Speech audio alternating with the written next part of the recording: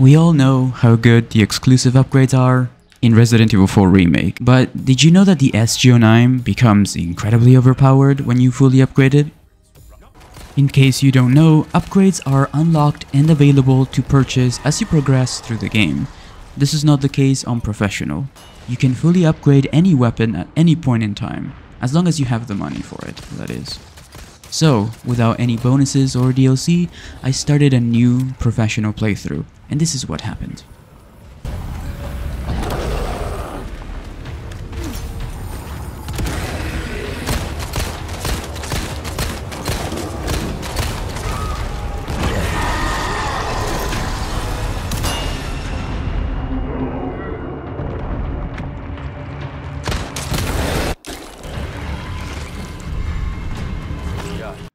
Still not convinced? Let's see how well it performs on professional against the chief of the village, Mendez.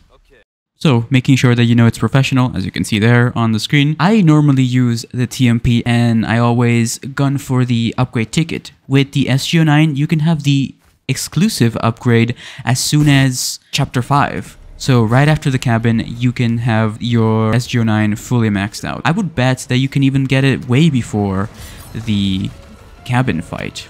I was able to do this without using any spinels. The only spinels I used were the ones that I invested for the laser sight.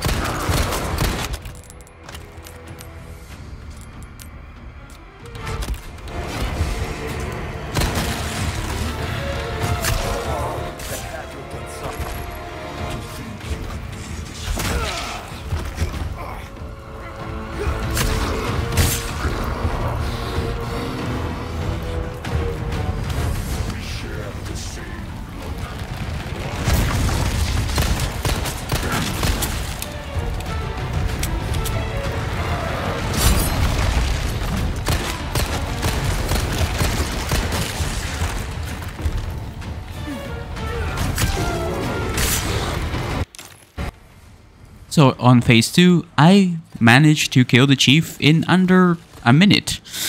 It's actually very impressive that I've been able to do this way faster than I would normally do it when using the TMP. I honestly think that only using an SG09 is actually way better than using any other weapon.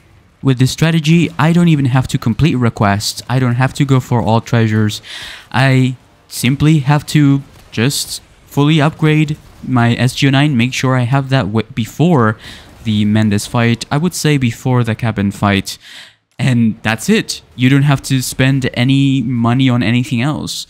I have to say though, on this run, I did manage to also fully upgrade my knife, which, funny enough, took me longer to fully upgrade than my pistol did. This strategy only heavily relies on you only having your handgun in your inventory. If you have anything else in your inventory, you will be getting ammo for those weapons instead of your handgun. So just using the attaché case and the SG09 is enough. The Garrador goes down very easily with this strategy.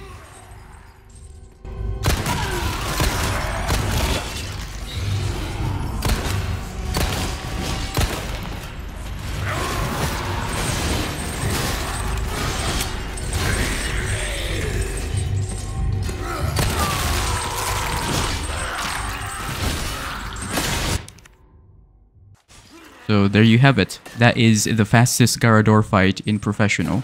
Now, I know what you might be thinking. Oh, you just got lucky with the exclusive upgrade. You landed a critical hit. Well, I'm not too sure about that. I have managed to replicate this strategy at least three times with and without flashbangs or anything else. So in this clip right here, you can see an alternative strategy which involves me using other weapons like my knife and the flash grenade. So this is the safest way to do this, but it also is the most expensive way. So the strategy goes hide behind the thing, go behind him, stab him, get away from him, use a flash grenade, equip your maxed out SG09, shoot him again in the parasite, throw another flash grenade, and shoot him once in the parasite. And that should take him down in under 15 seconds. And yes, this is professional difficulty. You can easily get S plus in professional difficulty with this strategy. This is how it goes. You start off with the SG09. In the village, grab everything, including the shotgun. Then send it immediately to your storage. After that, in chapter 2, we are going to be selling everything that we won't be using. The shotgun, the rifle ammo, the shotgun ammo, TMP ammo, anything that isn't handgun and the handgun ammo. So only use the silver attaché case, the handgun and the handgun ammo, and your combat knife, or whatever other knife that you want to use. Hand grenades are fair game, and flash grenades also. If you're trying to do this minimalistic, so that means only using pistols and and knife, you can totally do this. Like you can 100% get S plus, professional, minimalist, and uh, get your cat ears on the same playthrough. I actually recommend you give it a try. This is by far the easiest strategy that I've managed to come up with to get S plus. This is even better than using the Chicago Sweeper or the hand cannon.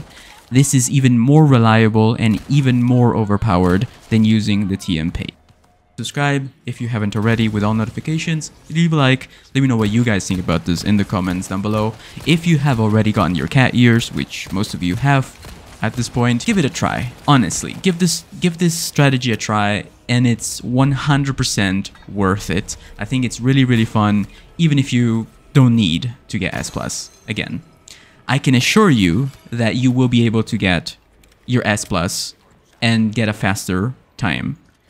Remember, all you need is the silver attaché case, the combat knife, the handgun, the SG09 handgun, the handgun ammo, and that's it. You can also purchase the laser sight at the merchant's hideout if you if you plan on doing the merchant's requests. If you want to check out my guides, make sure you click on the link in the description down below or just check out my channel and sort by popular. One last thing before I go, I've done a lot of helpful content for this game and I think I've pretty much covered everything.